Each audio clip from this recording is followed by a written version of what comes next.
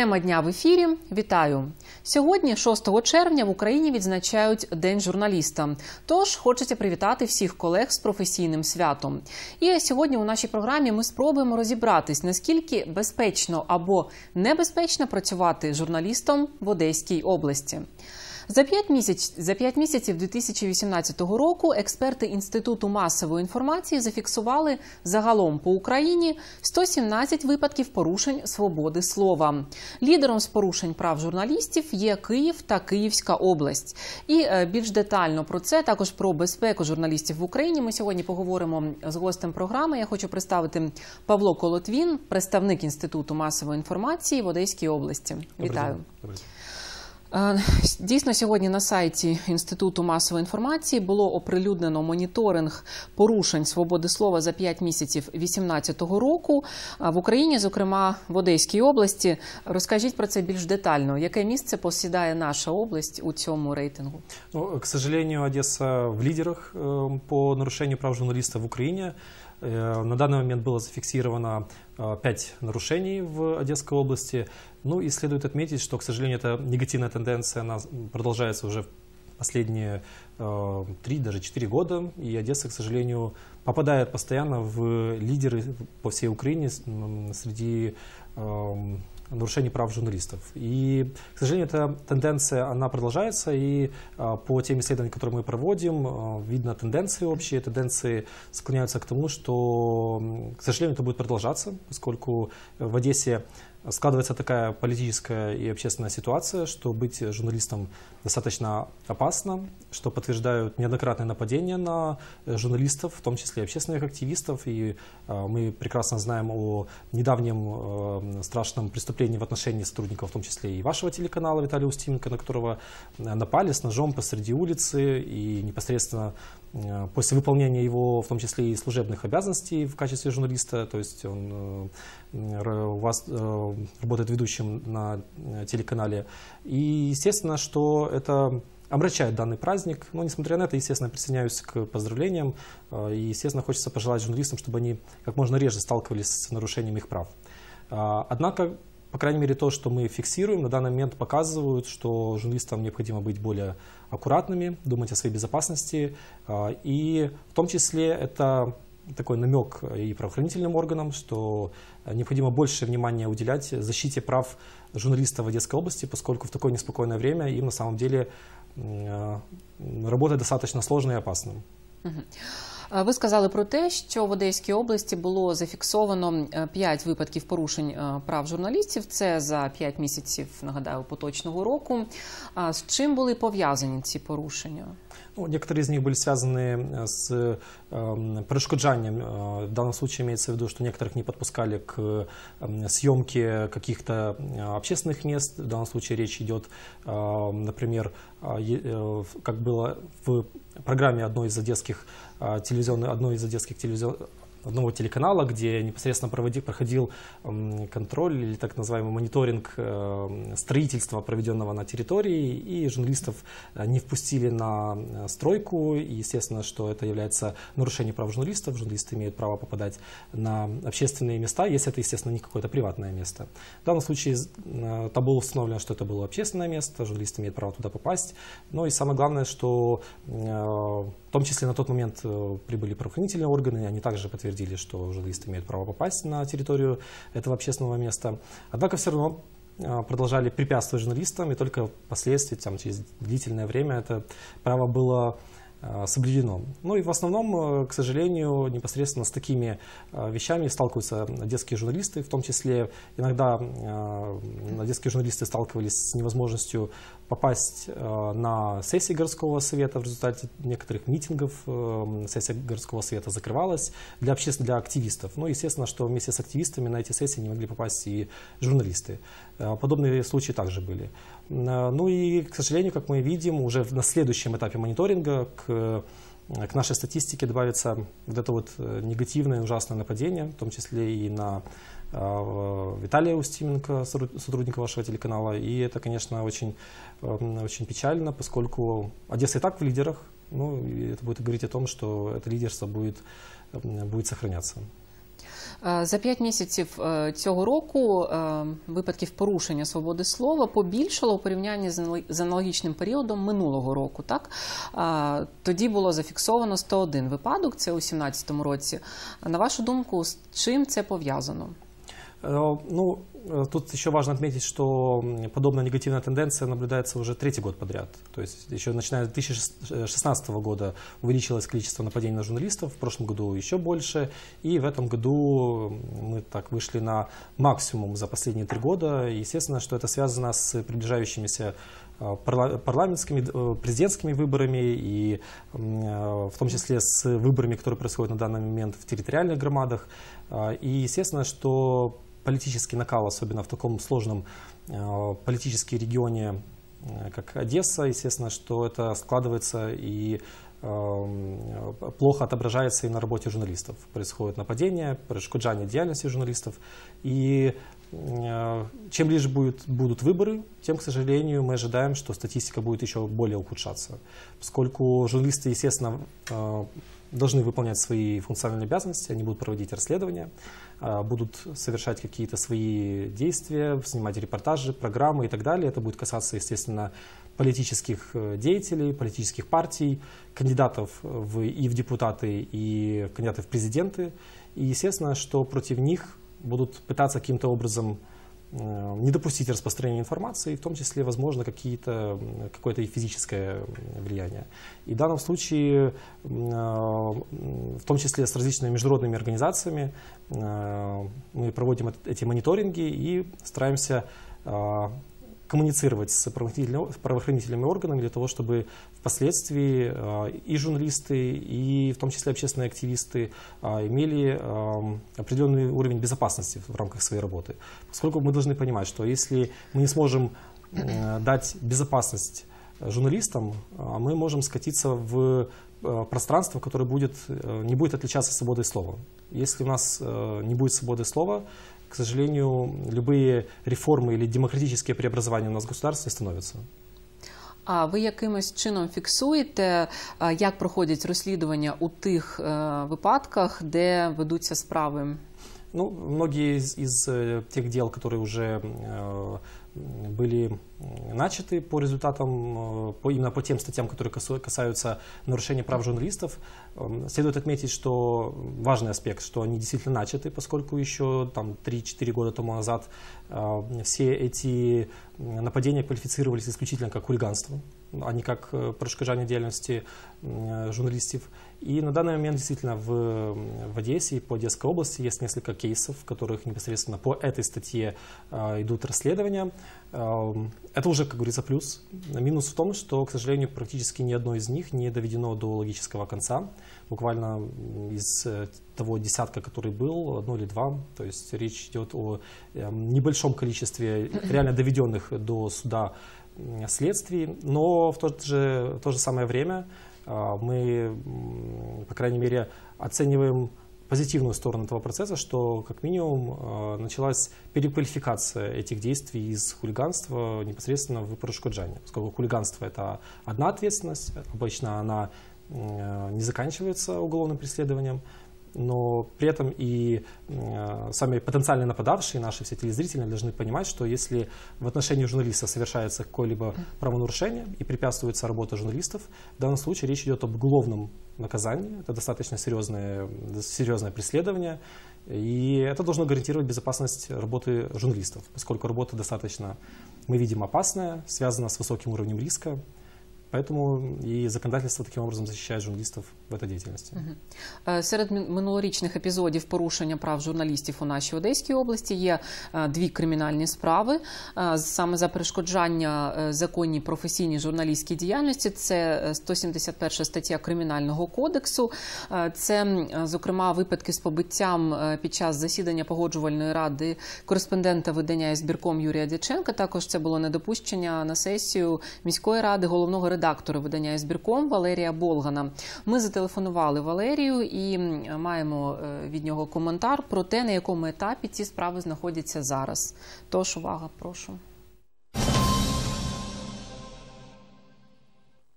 Були написані відповідні заяви до правоохоронних органів. Е, цікаво, що е, до моменту подачі заяв ніхто не збирався розпочинати кримінальне провадження просто за фактом. Хоча е, правоохоронці бачили обидва ці випадки. В одному випадку це був на, представник національної гвардії, який постійно знаходиться в міській, раді. В другому випадку там була велика кількість правоохоронців із головою приморського. Районного відділу поліції включно. За вже фактично рік, який минув з цього приводу, було кілька разів запрошено для того, щоб дати е, свідчення як мене, так і Юрія, наскільки я знаю.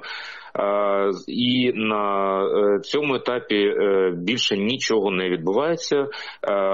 Вся справа знаходиться у одного того самого слідчого в Приморському районному відділі. Там було знято також кілька свідків було запрошено для того, щоб дати якісь е, покази. Е, було нами передано доволі велику кількість фото та відеоматеріалів е, цих подій, і на яких можна е, доволі добре е, розібрати. Людей, е, які саме протидіяли, це була в першу чергу е, е комунальне підприємство, яке зараз називається муніципальна варта на той час воно називалося трошки інше, е, е, трошки інакше. І е, жоден з цих людей, наскільки я знаю, не був покараний ані дисциплінарно, ані як, і ніхто з них до цих пір не є фігурантом кримінальної справи. Тема дня в ефірі. Ми продовжуємо. Почули, що ніхто не був покараний. На вашу думку, як змінити цю ситуацію? Ну, тут важно продолжать, эм, естественно, реформу правоохранительных органов, поскольку, к сожалению, мы с этим очень часто сталкиваемся, не всегда, 90% случаев, к сожалению, полицейские э, не умеют э, коммуницировать с представителями средств массовой информации, не умеют э, правильно разделить общественных активистов и представители средств массовой информации. И в момент, когда действительно в ходе какого-то митинга или какого-то конфликта на площади, когда происходит смешение э, толпы, и в том числе журналисты смешиваются вместе с митингующими, э, они не могут правильно квалифицировать, где общественный активист, где э, представители средств массовой информации, кого они обязаны пропустить, э, к примеру, в общественное место и дать право возможность осветить события, а, где действительно там не допустить э, смешения различных э, противоборствующих сторон. А, поэтому вопрос в том, что необходимо в том числе и проводить образовательные мероприятия с полицейскими, показывать э, особенность работы средств массовой информации, журналистов, с чем им приходится сталкиваться. Ну и в тот же самый момент показывать, каким образом журналистам в том числе даже и помогать осуществлять их деятельность.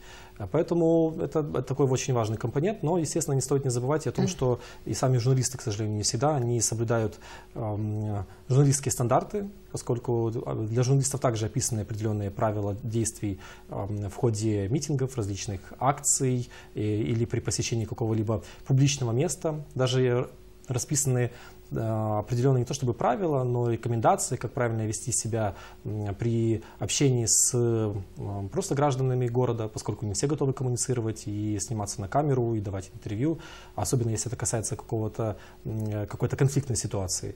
И э, очень часто на наш взгляд, где-то 70-80% нарушений, которые происходили в отношении журналистов, можно было предупредить, не допустить, если бы в том числе сами журналисты использовали бы эти рекомендации и э, действовали бы э, исходя из тех журналистских стандартов, которые являются общепризнанными и в том числе признанные в Украине. Поэтому образование как правоохранительных органов э, в отношении особенностей работы журналистов, так и сами, сами журналисты должны в том числе освоить некоторые правила работы в ходе каких-то или конфликтных ситуаций, или вообще касающиеся их э, непосредственно профессиональных обязанностей обов'язаності.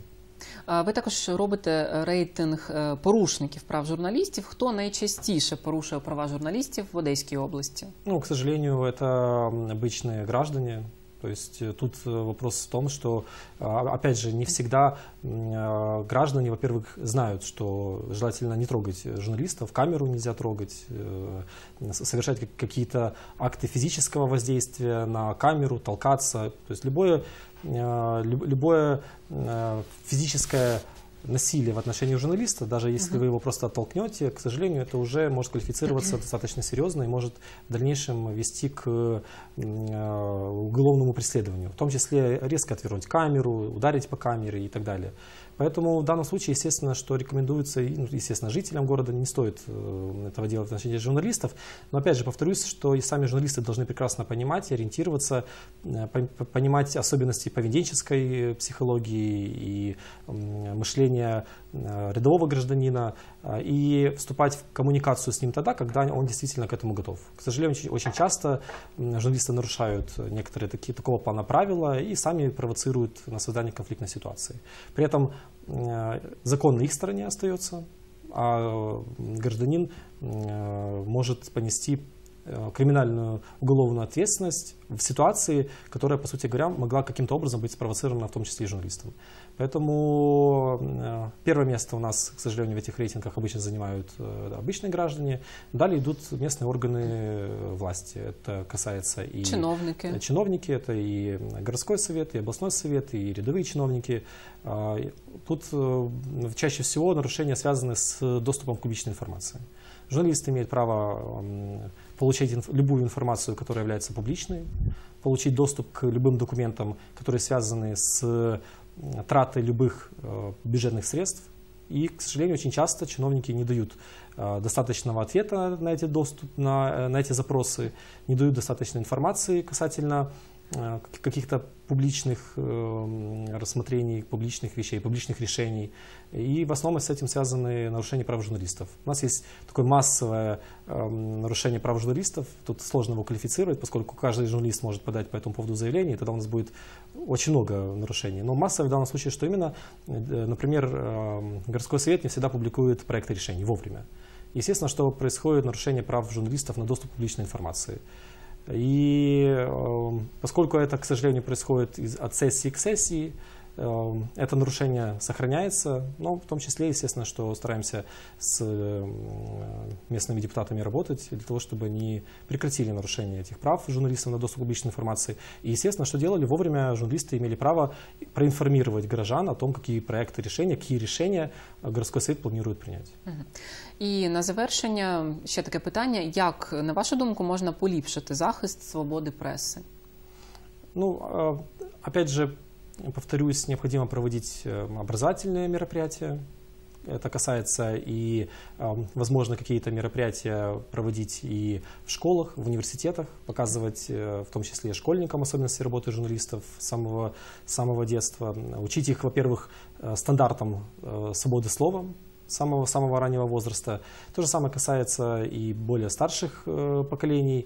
Это же касается и реформы правоохранительных органов, это касается и работы э, и параллельно идущих нескольких реформ, которые на данный момент реализуются. И это и медицинская реформа, и реформа местного самоуправления, и реформа децентрализации, поскольку вместе с реформой децентрализации, естественно, что идет и реформа э, информации. Децентрализируются не только э, местные органы власти, но и децентрализируется информация. И естественно, что в, в, в рамках этих реформ необходимы новые подходы и обучение, в том числе и журналистов, и местного населения, об особенностях роботи журналістів. До речі, якщо ви володієте цифрами, то чи збільшується кількість бажаючих отримати журналістську освіту? Ну, исходя из э, количества факультетов журналистских в Одессе, которые на данный момент функционируют, открываются и набирают абитуриентов, видно, что работа журналиста становится более популярной, большое количество студентов желают непосредственно обучаться на журналистском факультете, а, поэтому, да, эта работа становится интересной, актуальной, и действительно многие молодые люди интересуются этой работой. Но, к сожалению, опять же, очень печально, что эта работа является достаточно опасной в наше время, и поэтому студентам действительно необходимо, кроме того, чтобы хорошо учиться, еще и, естественно, учиться правильно себе, правильно думать и развивать э, вопросы, связанные со своей безопасностью. Это тоже очень актуально і можливо розуміти, так що все ж таки ця професія передбачає певну небезпеку. Конечно, да. Это э, крайне важно, поскольку э, многие журналисты думают, что будут заниматься вопросами культуры, искусства или э, таких вот околокультурных направлений, но, к сожалению, э, как говорил один классик, э, политической мысли все есть политика, и рано или поздно э, подобного плана журналисты все равно каким-то образом подключаются к э, медиа, связанным с общественно-политическим сектором, и рано или поздно, в том числе, каким-то образом начинают там работать. Или, по крайней мере, некоторое время работают. Що ж, Павло, дякую вам за те, що ви до нас сьогодні прийшли. Ми спілкувалися з Павлом Колотвіним, представником інституту е, масової інформації в Одеській області. Говорили про порушення свободи слова, також про безпеку журналістів в Україні. Хочу всім подякувати за увагу. До побачення.